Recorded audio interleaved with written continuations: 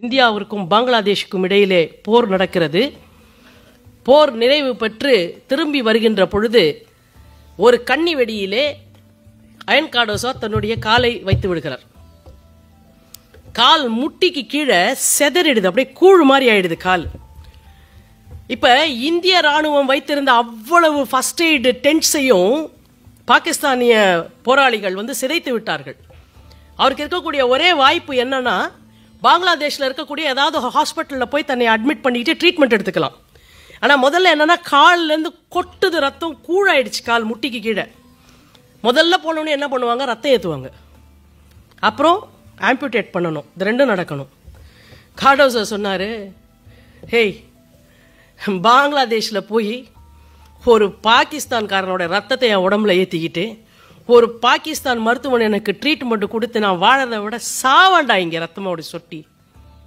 என் காலை வெட்டிடு அப்படின்னு தன் கீழே இருக்கக்கூடிய தன்னுடைய சபார்டினேட் அதிகாரிகிட்ட சொல்றார்.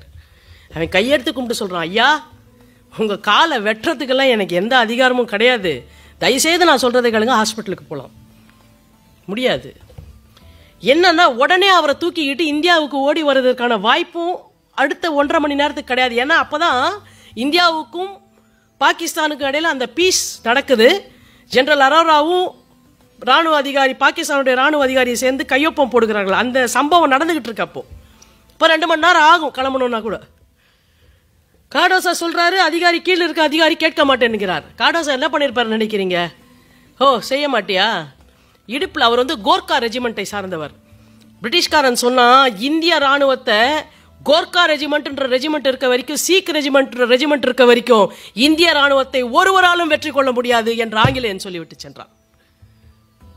அயன் காடோசா தன் வந்து கோர்க்கா ரெஜிமெண்ட்டை சார்ந்தவர். கோர்க்கா ரெஜிமெண்ட்டோடைய ஸ்பெஷாலிட்டி என்னன்னா இடுப்பில் ஒரு நம்மளுடைய அருவாள் இருக்குல்ல குட்டியாக நம்ம கதிர் அருவாள் இருக்கு. அந்த மாதிரி ஒரு சின்ன இடையில இருக்க ஒரு குட்டி குக்குரின்னு பேர் அதுக்கு. அதை குக்குரி இடுப்பில் சொ சொருகி வச்சிருப்பாங்க. அது கோர்க்கா ரெஜிமெண்ட்னுடைய ஸ்பெஷாலிட்டி அந்த அருவாளை எடுத்தாருங்க. ஒன்று ரெண்டு மூணுன்னு சொல்லி அவர் காலை அவரே வெட்டினார். வெட்டி கூழாக இருந்த அந்த காலை அவருடைய சபார்டினேட்டை கொடுத்து ஓடி போய் அதை புதைச்சிட்டு என்னை இந்தியா பக்கம் தூக்கிட்டு போடான்னு சொல்லி காலை வந்து துணியை போட்டு கட்டிக்கிட்டார். ரத்தம் சொட்ட சொட்ட இந்தியாவிற்கு அழைவர் அழைத்து வரப்பட்டார். மருத்துவமனையிலே சேர்க்கப்பட்டார். அவருடைய கால் மருத்துவ ரீதியாக அகற்றப்பட்டது. இப்போ முட்டிக்கு கீழே வந்து அயன் காடோசாக்கு ஒரு கால் கிடையாதுங்க.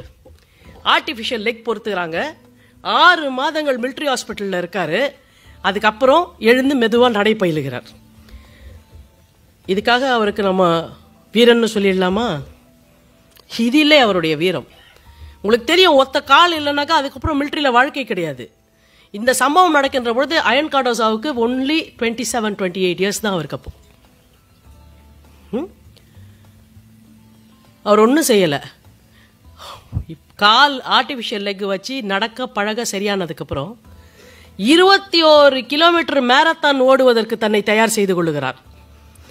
ஆறாயிரம் அடி மலையை ஒற்றை கால் ஆர்டிஃபிஷியல் லெக்கை வச்சுக்கிட்டு ஒரு ராணுவ வீரன் எந்த வேகத்தோடு ஓடி ஏறுவானோ அதே வேகத்தோடு ஓடி ஏறுவதற்கு தன்னை தகுதிப்படுத்திக் கொள்கிறார் இந்த ரெண்டையும் செஞ்சு முடிச்சுட்டு நேராக அவருடைய உயர் அதிகாரிகிட்ட போய் சார் நான் ராணுவத்தில் மீண்டும் சேர விரும்புகிறேன்றார்.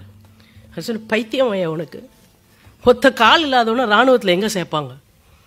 ஹேண்டிகேப்டை வந்து ராணுவத்தில் சேர்க்க முடியாதுன்றது உனக்கு தெரியாதா? மேஜர் ஜென்ரல் சொன்னார் ஒற்றை கால் இல்லாத ஹேண்டிகேப்டை தான் சார் சேர்க்க முடியாது. உங்களுடைய பெட்டாலியனில் இருக்க யார் கூட வேணாலும் என்னை ஓட விடுங்க. நான் செகண்ட் வந்தேன்னா என்னை சேர்க்காதீங்க. நான் எல்லாரையும் காட்டிலும் வேகமாக ஓடுவேன். எல்லோருக்கும் முன்னாடியும் மலையேறி காட்டுவேன். செய்து காட்டி மீண்டும் ராணுவத்தில் இருக்கக்கூடிய அந்த ரூலை மாத்தி அவர் உள்ள மறுபடியும் ஆர்மியில சேர்றார். சேர்ந்து மேஜர் ஜெனரல் என்ற அந்த அளவிற்கு உயர் பதவிக்கு வந்து இப்ப வரைக்குங்க நான் சொல்றது இன்னி வரைக்கும் இந்த நிமிஷம் வரைக்கும் கார்கில்ல இருக்கக்கூடிய இன்றைய ராணுவ அதிக ராணுவ வீரர்களுக்கு அவர் பயிற்சி அளித்துக் கொண்டிருக்கிறார் என்று சொன்னால் எங்களுக்கு உனக்கெல்லாம் ஒரு கன்னி வெடியா ஃபர்ஸ்ட் போருக்கு போனோம்னாலே செத்து போயிடுவோம் திருப்பி வரும்போது கண்ணி வெட்டில கால் வச்சிட்டோம்னா அங்கேயே சித்திரவதை ஆகிடுவோம் குக்கரி எடுத்து காலை வெட்டுறதா? கத்திரிக்காவே வெட்ட மாட்டோம் நம்ம.